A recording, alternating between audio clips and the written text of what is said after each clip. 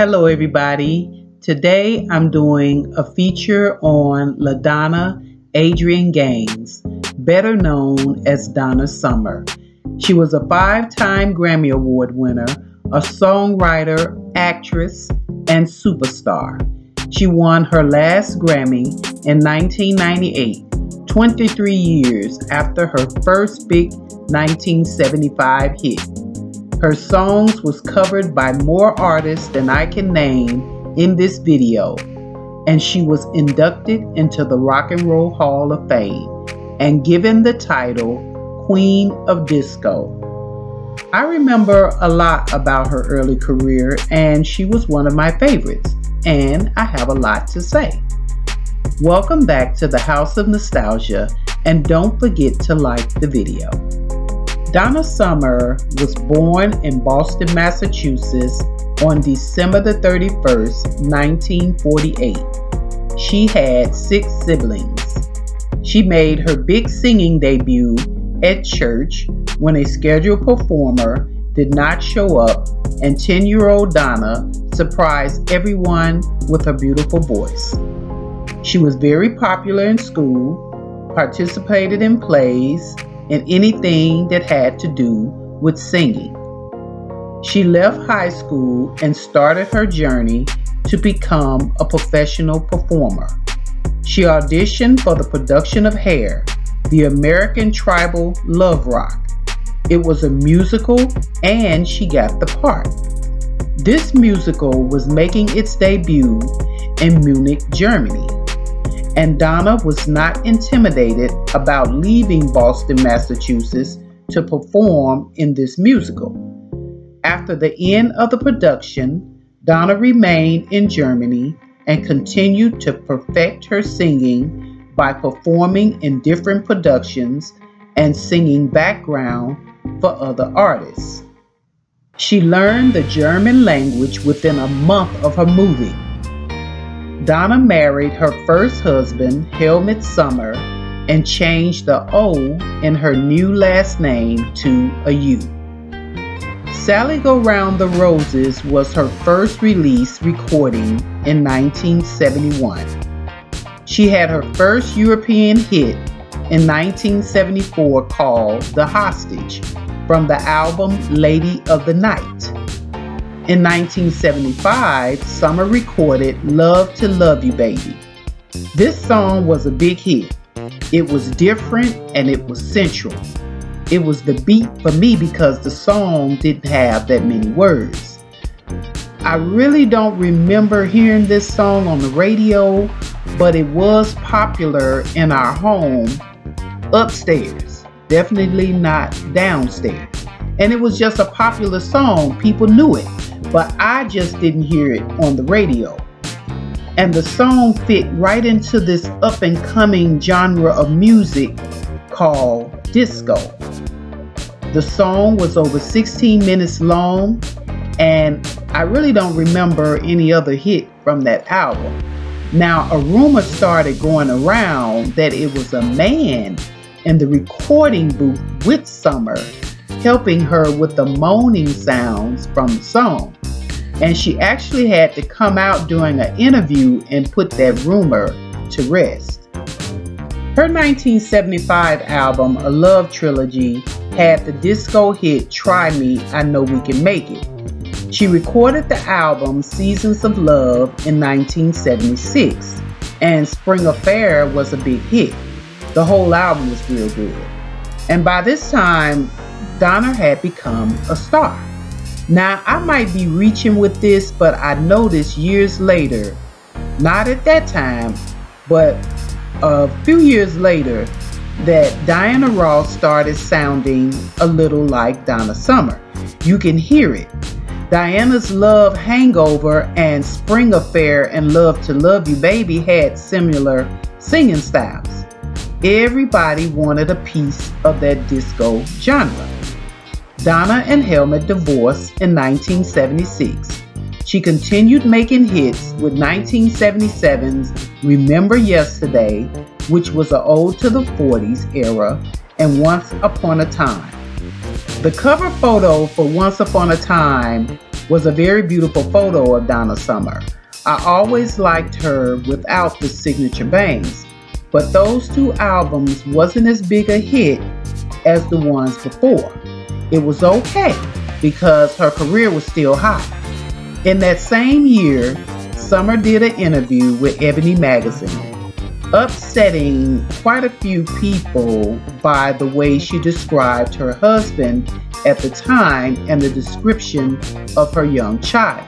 Now, even though it wasn't no social media back then, magazines would post interviews and people would send in their comments. And magazines would print them the following month. Basically, the same as what we do now with social media, but now you can reply within seconds. She received backlash for her statements, but not on the scale that it would have been today. In 1978, Summer recorded the Live and More album, which set records for her. This is the album that featured the classic MacArthur Park, Someone Left the Cake Out in the Rain. That song was written by Jimmy Webb. In 1979, she starred in the movie Thank God It's Friday and won a Grammy for the song Last Dance on the soundtrack. Summer recorded her big album, Bad Girls. This album had the title track Bad Girls and Hot Stuff, and both of them went to number one. So, with MacArthur Park going number one, that gave her three number one hits in the same year, and she was the first to do it. That was a hot album, and she did a lot of writing on that album. Her greatest hits album, On the Radio, released a duet with Barbra Streisand called No More Tears. And in 1980, the writing was on the wall. Disco was on its way out. So Summer released The Wanderer in 1980. And this album had a R&B and pop sound, but it was more pop to me. And after disco, pop would have been a good fit for her. The Donna Summer album was released in 1982. And in my opinion, I feel like this album was the direction that she wanted to go in. That's why she named it after her, I believe. She had songs written and arranged by Quincy Jones and Rod Temperton. David Foster contributed to the album, and she had background singers like James Ingram, Howard Hewitt, and Philip Ingram. She wrote a few songs on this album, and this was a good album. It wasn't as successful as her other albums, but I feel like it was a success to her because she was trying to break the mold, so to speak, and she had a lot to prove. In 1983, she had the biggest song of her career. She works hard for the money. A lot of people feel like this was a disco song, but to me it wasn't. It had that 80s sound that was coming in after disco. They played that song and video a little too much. Summer won a Grammy in 1984 for her inspirational song Forgive Me for the Cats Without Claws album.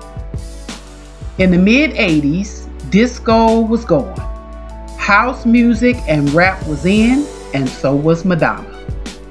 And they all started taking over the airwaves. In 1987, Summer released the album Another Place and Time. She had been closed in this disco era box, and it would take 10 years for her to come out from under that. In 1991, Donna Summer sued New York Magazine because of an article that was written about her making anti homosexual remarks concerning the spread of AIDS in the homosexual community. According to Alice Crane from UPI website wrote, and I quote, Summer allegedly refused to include a song written for the homosexual community on her recent album, Mistaken Identity. The unidentified source said the song was intended as an apology for statements allegedly once made by Summer that homosexuals were sinners and that AIDS was a divine ruling. Summer denied all of this and sued the magazine, and it was settled out of court. She was not interviewed for that 1991 article. It was written based off of an unidentified source. There was no evidence to back up that claim. Summer released two albums in the early 90s Mistaken Identity and a Christmas Song album in 1994. She made the best comeback by receiving a Grammy in 1998 for the song Carry On, which was a special moment. Giorgio Moroder and Bellotte was Summer's longtime producer and songwriter since her first big hit, Love to Love You Baby. They ended their working relationship around 1981, but she teamed up with Giorgio Moroder and won the Grammy in 98. Her career was on the upswing. Donna Summer passed away at her home in Florida on May the 17th, 2012. Her death did not go unnoticed to the public. Anybody that was around during that era most definitely remember Donna Summer. She is the queen of one of the most nostalgic genres in music history. You could not speak on that genre of music and not mention her. Thank you so much for watching this video and don't forget to like, comment, and subscribe.